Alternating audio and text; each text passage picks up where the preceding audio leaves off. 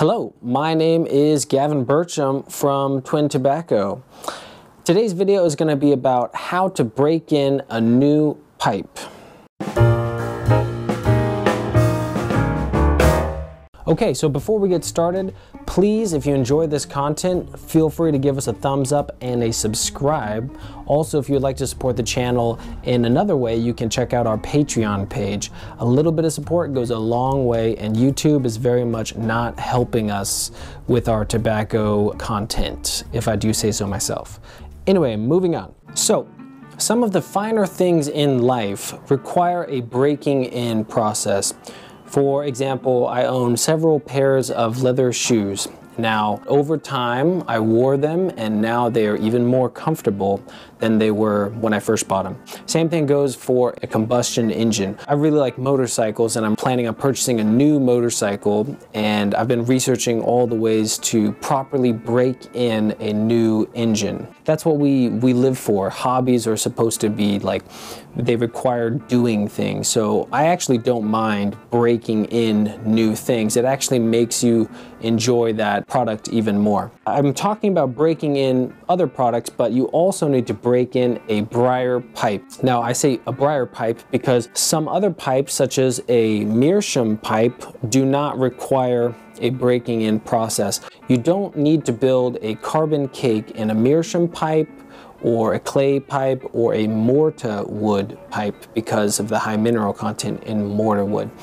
Okay, so what is breaking in a briar pipe entail? What, is, what does that mean? What really keeps a briarwood pipe smoking and smoking for a lifetime is carbon cake in the chamber. Briar is wood and wood burns. The reason why this works for a pipe is because a briar is kind of heat resistant and it's also porous. As you smoke tobacco in the chamber, carbon cake will build up. Now carbon cake is like a layer of carbon that will stick to the walls of the chamber and that has many benefits. That carbon, it acts as an insulator so it protects the wood from burning so you don't have a burnout. A burnout is when you actually like uh, a portion of the wall starts to burn and burn until eventually it pops a hole out the side of the wood or the bottom and then the, the pipe is ruined. So the carbon cake actually protects that wood from a burnout. But also the carbon cake does some other things. Public enemy number one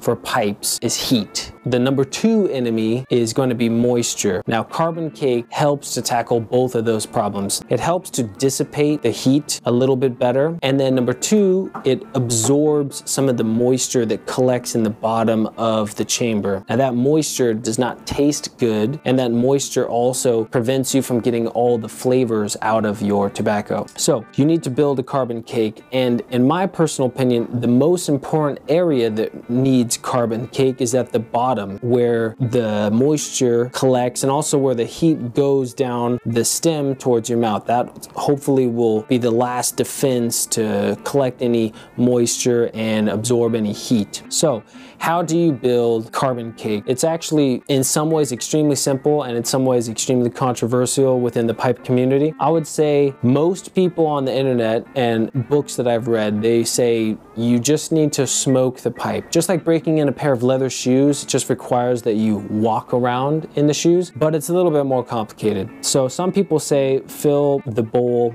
halfway and smoke it down and then fill it up again maybe the next day and smoke it down. And other people say you could fill the bowl all the way. You just have to be conscious to smoke it all the way down because you want it to build carbon cake all the way down. So you just have to take a little bit more mental energy and determination to finish your smoke. I had that kind of mindset and I did that for a number of my pipes, but I got a little bit complacent or slash lazy, whatever you want to call it, over the last year or two, and I didn't properly smoke it all the way down to the bottom. So I've noticed there's been a buildup of cake in the middle to the upper portion of the bowl and not as much cake on the bottom. Like I said before, I think carbon cake on the bottom of the bowl is probably the most important area. So if you're gonna be really on top of it, you can fill the bowl all the way to the top with tobacco just remember to smoke it all the way down. Or you can just do the simpler approach, and I think probably probably the better approach would be to fill halfway, smoke it down. That's it for the day. And then maybe the next day, do the same thing again for maybe the first 10 times that you smoke your pipe. Once you smoke it all the way down, kind of mix it with the tamping tool, the shovel or the, the poker, just gently mix the ash and then like to cover the bowl like this, shake it, get a nice layer of ash all around the chamber and that helps